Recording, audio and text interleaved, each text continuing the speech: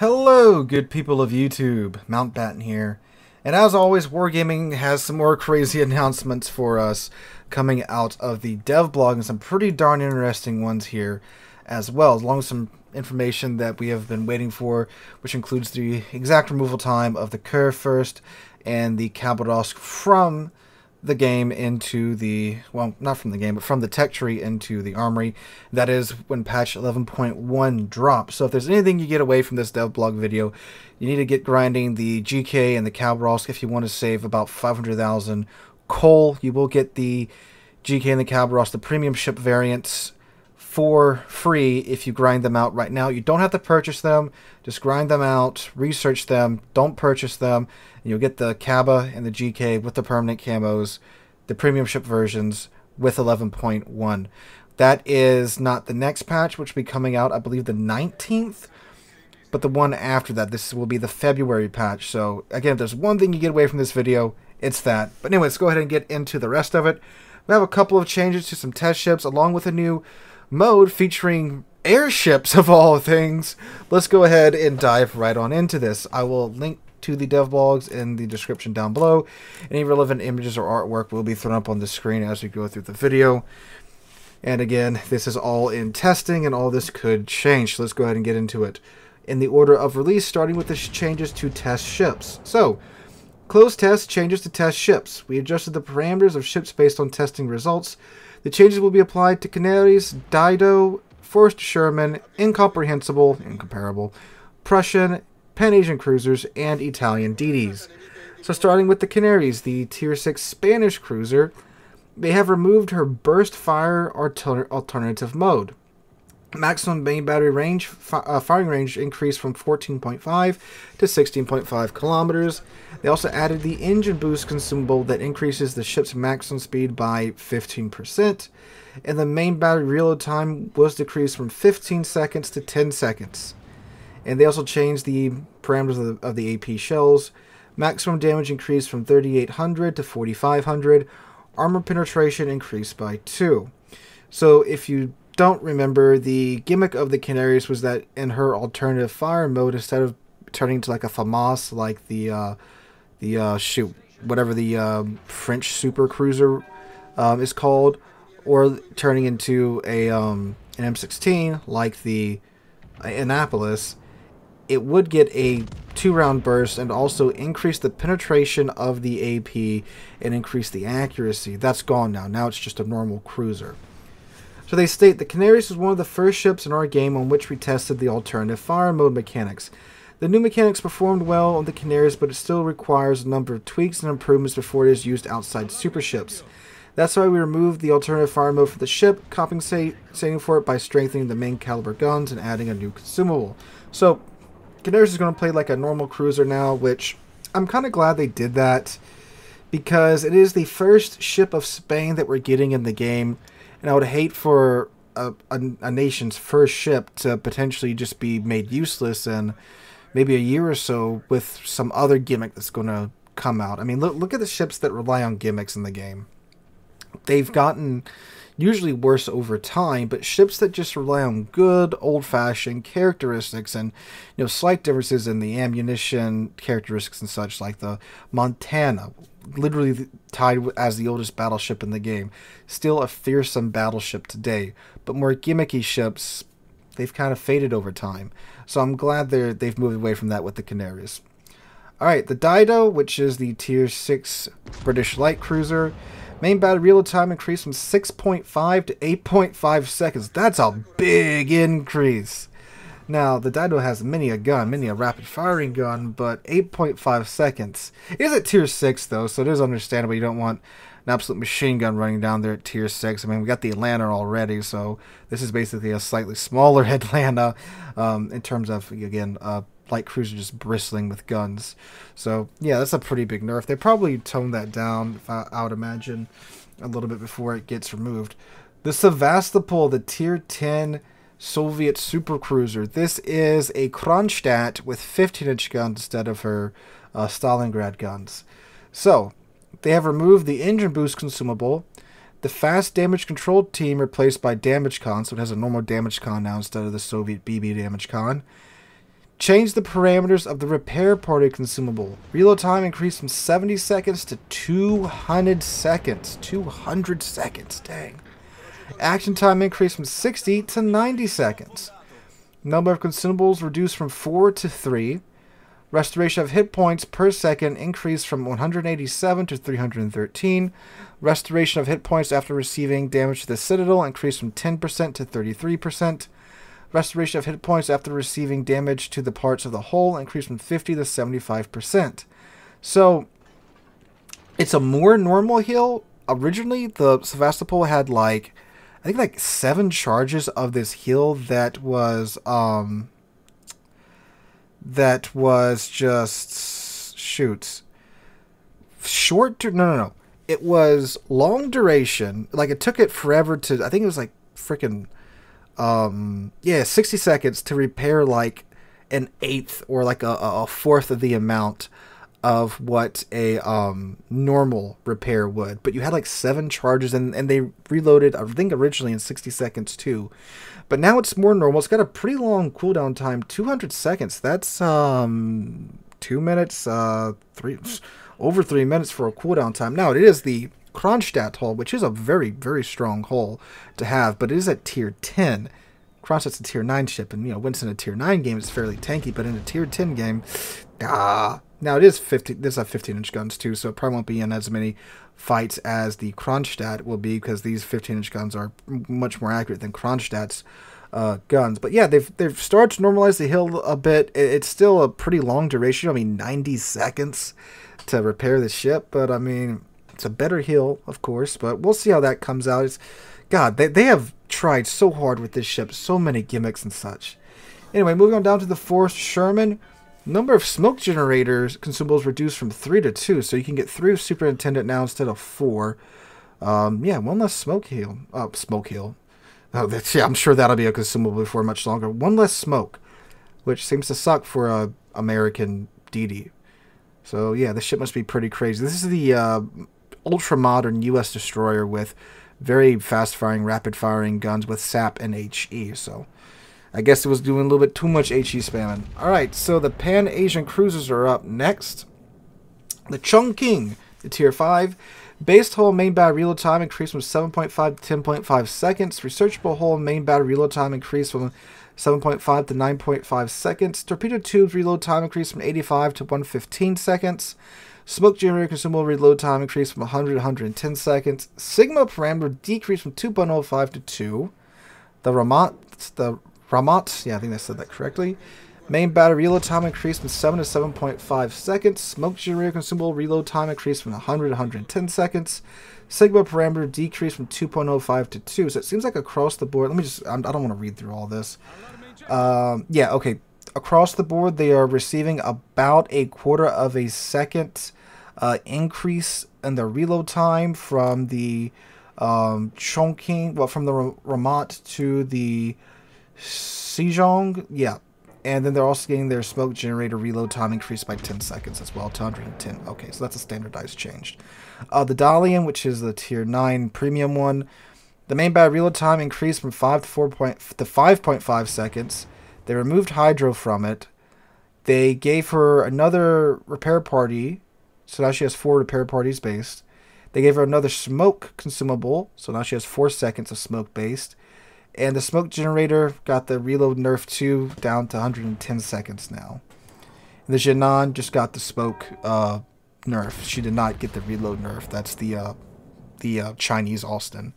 All right, the incomparable main battery reload time increased from 28 to 29 seconds. Okay. Um, the Prussian they removed the 20 millimeter AA guns due to this AA parameters of the ship were changed. Why would you remove AA guns when you're adding in freaking super carriers now? Damage of short range AA guns reduced from 291 to 245. Damage of medium range AA guns increased from 326 to 329. Continuous AA damage uh, reduced from 370 to 355. The change will come to effect with the release of update 11.0. Okay, so for the Italian destroyers, the tier 5, the tier 6, the tier 7, and the tier 9. In order to achieve a more consistent progression of torpedo armament in the branch, the following changes were made. Current torpedo modules have become researchable. Added stock torpedo modules for the... Oh man, I'm going to butcher these Italian people. Please look at the Mafia to kill me. The Maestrale, the Vittorio Cuniberti. They are similar to the torpedo modules of the Turbine and the Luca Tarigo, respectively. For Aviere and Adriatico, they are similar to the researchable torpedo modules of destroyers of the previous tier. Changes come into effect in the main server with the release of 11.1 as well in the public test for this update. Okay, moving on to the to the very very very interesting new game mode. Frickin' airships, y'all. So, closed test 11.1 Airship Escort changes to econo- uh, economics and other news. All right, uh, again, all the information that blog is preliminary. Final information will be published on the game's website. Airship Escort. A new temporary battle type, Airship Escort, will be added to the game. And the rules are as or as follows. Each team has an invulnerable airship moving along a fixed route. The task of each team is to either lead their airship to the end of its route first or destroy all enemy warships. Teams can affect the speed of the allied or enemy airship. Each airship has an interactive zone with a 3 kilometer radius displayed around it. The airship moves faster if there are only allied ships in the zone and reduces its speed if there is at least one enemy ship in the zone. And here are some screenshots of this mode. It looks basically like convoys, but with airships, and I think the convoys moved without you being there anyway. So these you have to be within the radius of the airship to get it to move, which I think is great because convoys you could go screw off and then on the other end, on the other end of the map, and um, you know the, the the ships would keep sailing. And plus, both teams have an airship, and you have to escort yours to the um, end first. So it's kind of like a race, which is pretty neat. Uh, the battles will be held in a 12v12 format on tier 10 ships. The added achievements that can be earned in this battle type. Okay. Now, uh, the airships can't be destroyed, uh, which is understandable. But um, it's an interesting mode. Uh, I think it'll encourage a lot of team play because obviously you have to be near the the airship to get it to go, and it just looks like like this route they the map route they give us here like that last stretch is going to be utter chaos and i i would really like to see what it's going to be like there so um i'm i'm really interested to see how this is going to go um it's again kind of like overwatch we have to escort the package but both teams have a payload to get there um, now of course historically speaking I, i'm pretty sure this never happened airships were very briefly used by um, the navies of the world in between the wars. And I, am talking about super briefly. I know the United States, uh, we lost both of ours in, um, in, in storms, and I think we grounded the the like one that was being built afterwards, if I'm remembering correctly, and then just scrapped it later on. And that's a similar fate to most other navies' airships as well. All right, um, Pan Asian Cruisers Part 2 and 11.1, which is not the update coming out this week, well, next week, but uh, the February update. Early access to Tier 5 to 10 Pan Asian Cruisers will continue. Oh, will continue, so in 11.0, the uh, Pan Asian Cruisers are starting. Okay. Uh, the Pan Asian Cruisers Part 2 flag will be added in the Dragonport update. Man, the Dragonport hasn't been updated in a while. Alright, so Dragonport's looking good. Flag looks ni nice, neat, and clean. Okay. So here's some big changes to the economy. Economic reward for destroying aircraft is distributed in the same way as the reward for damaging and destroying ships. Now part of the credits and XP will be credited not only for shooting down aircraft, but for also dealing damage to them. On average, the number of resources received will not change, but the, the reward will become easier to obtain. Okay, that's that's nice. Redistribute the XP earnings of Tier 8 and 10 aircraft carriers. They will receive more XP for destroying ships and less for dealing damage. Before the change, good battle results of Tier 8 and 10 carriers were rewarded less than the ships of other types. Because of that, even a high number of ships sunk rarely provided a place at the top of the team in terms of XP earned.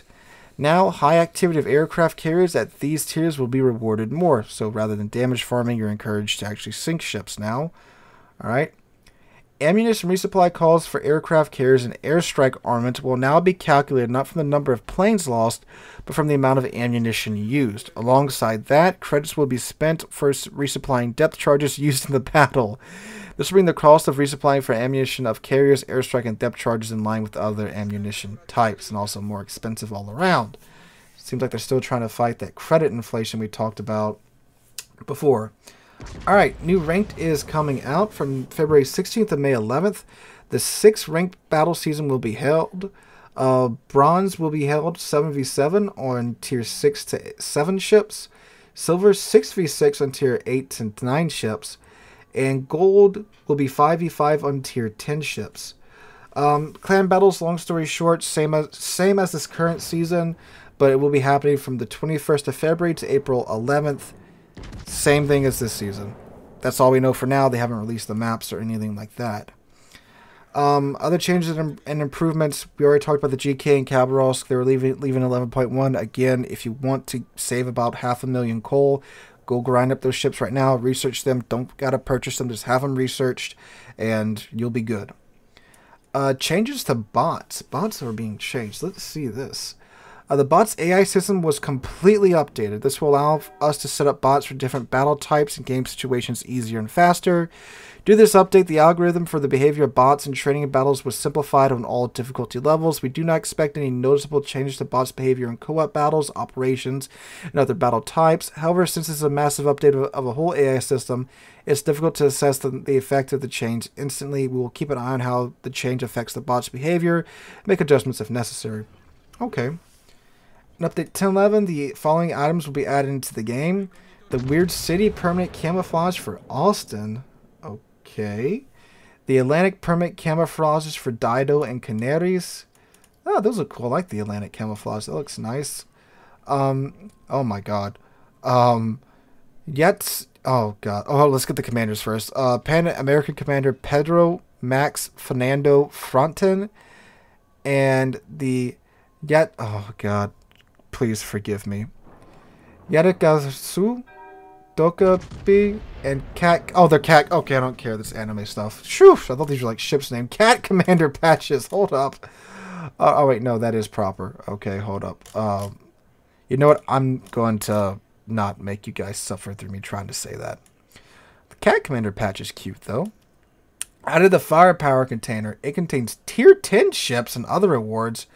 Container composition 37,500 Elite Commander XP, or 12,500 free XP, or 900,000 credits, 15,000 cool, or 37,500 free XP, or 120,000 Elite Commander XP, or 25 special signals of each type, or one of the following ships with a 10 point special command, uh, a 10 skill point commander.